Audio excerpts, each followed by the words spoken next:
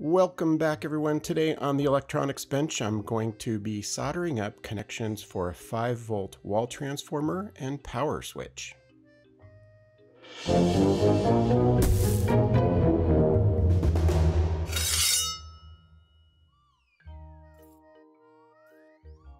first thing that I need to confirm is that this is the right transformer and this is a 5 volt 2 amp and then I'm going to look at what the polarity is on the actual plug itself, which is this little diagram. So this shows that the outer part of the plug is negative, and then the inner portion is the positive.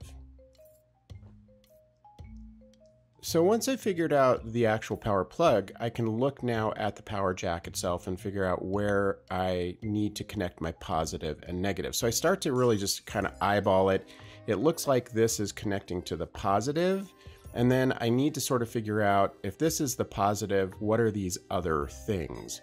Now, a little bit of research and some probing, um, not alien probing, but probing. This is the negative. Um, this is a terminal that's used to detect if a plug is inserted. I don't use that. It's not really something that you're ever going to really use in common um, applications, but um, that is what it's for.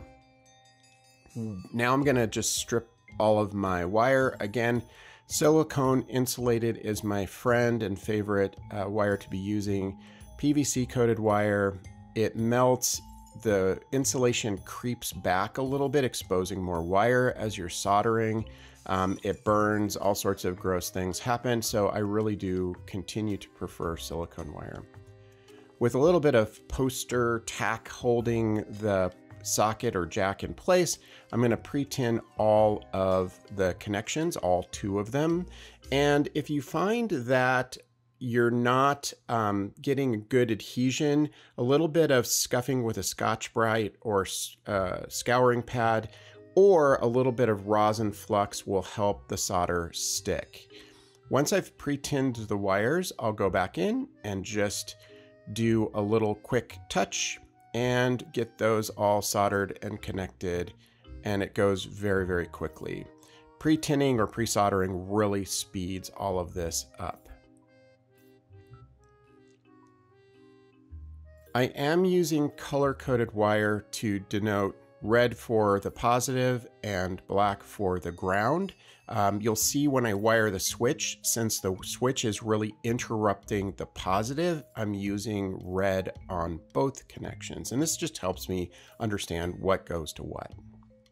Switching on over to the switch, no real play on words intended there. Uh, I am going to pre-tin now the switch is really interrupting the flow on the positive. So in this case, I'm using both red wires just to help again, when I start to bring all of these components together, help me visually understand what's going on.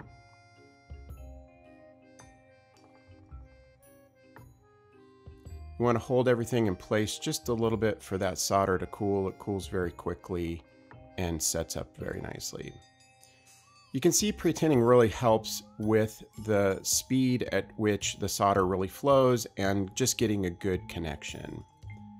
Now, once I've done all of that, I cut small pieces of heat shrink. I really, really try to heat shrink um, and insulate everything, all of my connections to avoid any opportunity for shorting. Shorts are bad, uh, jorts are bad, shorts are bad, um, but you don't want connections when you don't want them. That's how fires start. So a little bit of heat shrink and a heat gun and everything is nice and tidy. So once I have these groovy things, depending on my application, there are a bunch of ways I can use these. In this case, this particular circuit board that I've built has an on and off switch built in. So I can just use the power jack wire that directly into the board and plug everything in and we're good to go. Now this particular board also has the ability to have an external switch wired into it.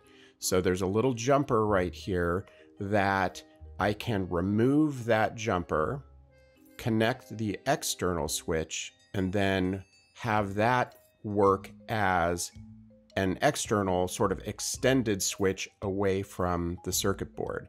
So that's a nice little feature and it allows me to use both the power jack and then an external switch that I can wire to a more remote location. So this is an application where each component is used individually.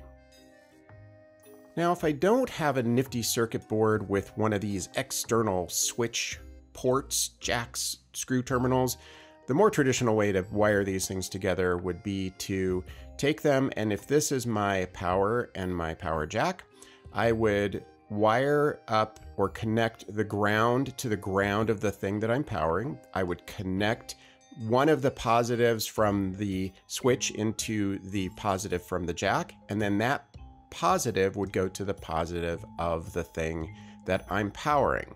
And this is really just a more traditional setup for a switch to the power plug. And there you go. Not exactly super exciting stuff, but some basic connections. If you found this helpful, hit the like button. If you're not subscribed, subscribe to the channel, and we will see you back really soon.